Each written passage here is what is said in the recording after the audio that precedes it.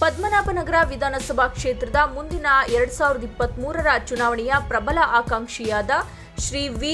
ರಘುನಾಥ್ ನಾಯ್ಡುರವರ ನೇತೃತ್ವದಲ್ಲಿ ಪ್ರಪ್ರಥಮ ಬಾರಿಗೆ ಪದ್ಮನಾಭನಗರ ವಿಧಾನಸಭಾ ಕ್ಷೇತ್ರದಲ್ಲಿ ಸಾವಿರಾರು ಜನರು ಸೇರಿ ವಿಶ್ವ ನಾಯಕಿ, ನಮ್ಮೆಲ್ಲರ ನೆಚ್ಚಿನ ಮಾಜಿ ಪ್ರಧಾನಮಂತ್ರಿಗಳಾದ ದಿವಂಗತ ಶ್ರೀಮತಿ ಇಂದಿರಾ ಗಾಂಧಿರವರ ನೂರ ಆರನೇ ಜನ್ಮದಿನದ ಪ್ರಯುಕ್ತ ಕದಿರೇನಹಳ್ಳಿ ಕ್ರಾಸ್ನಲ್ಲಿರುವ ಲಾರಿ ಸ್ಟ್ಯಾಂಡ್ನಲ್ಲಿ ಆಚರಿಸಲಾಯಿತು.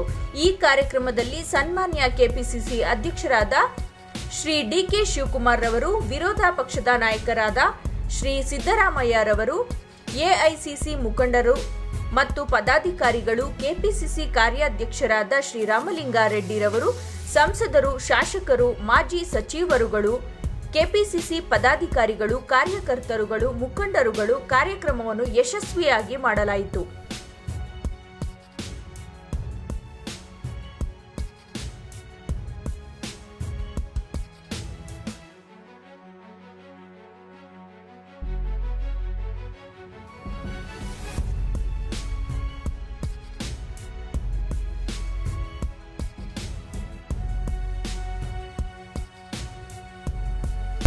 ಇಮ್ರಾನ್ ಇಷ್ಟು ಜನಕ್ಕೆ ಇಂದು ಈ ಕಾರ್ಯಕ್ರಮದಲ್ಲಿ ಸಹ ರಾಷ್ಟ್ರ ರಾಷ್ಟ್ರಗೀತೆ ಇದೆ ದಯಮಾಡಿ ಅವರು ಕೂತ್ಕೋಬೇಕು.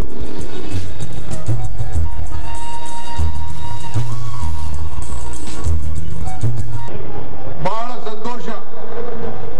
ಮೂರು ಗಂಟೆಗೆ ಫೋನ್ ಬರ್ತಾ ಇತ್ತು. ನಾಲ್ಕೈದು ಸಾವಿರ ಜನ ಸೇರ್ಬಿಟ್ಟಿದ್ದಾರೆ.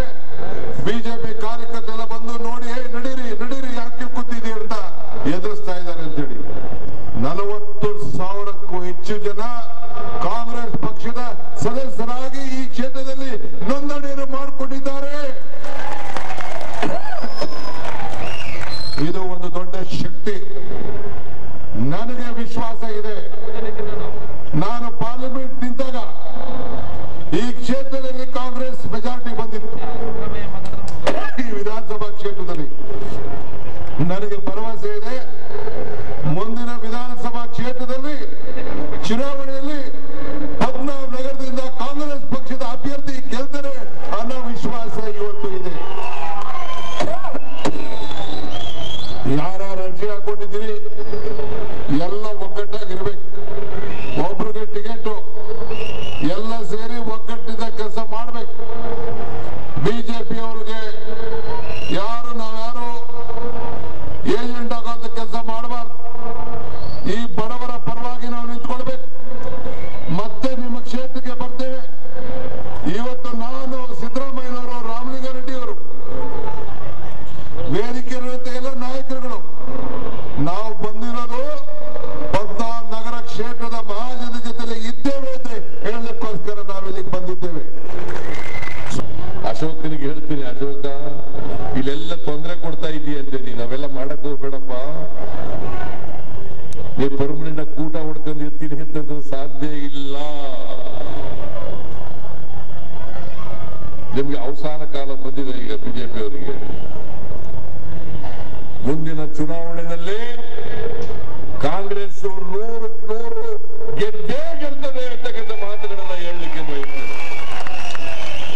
ನೀವು ಯಾವ ಟೋಂಗಿ ಆಟ ಆಡಿದ್ರು ಇಲ್ಲ, ಎಷ್ಟೇ ಸುಳ್ಳುಗಳನ್ನು ಹೇಳಿದ್ರು ಇಲ್ಲ, ಎಷ್ಟೇ ಮತದಾರರ ಹಕ್ಕನ್ನ ಕಸ್ಕೊಂಡ್ರು ಇಲ್ಲ, ಭಾರತೀಯ ಜನತಾ ಪಕ್ಷವನ್ನು ಸೋಲಿಸಲೇಬೇಕು. ಇಲ್ಲಿ ಅಶೋಕನನ್ನ ಸೋಲಿಸಲೇಬೇಕು.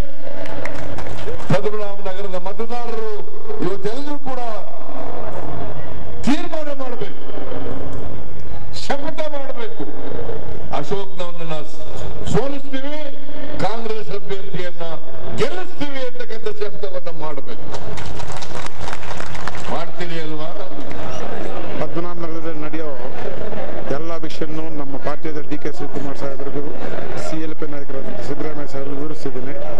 ಅವ್ರಿಗೆ ನನ್ನ ಒಳ್ಳೆ ನಿಮ್ಮ ಪಾರ್ಟಿ ನಿಮ್ಮ ಕೆಲಸ ಮಾಡು.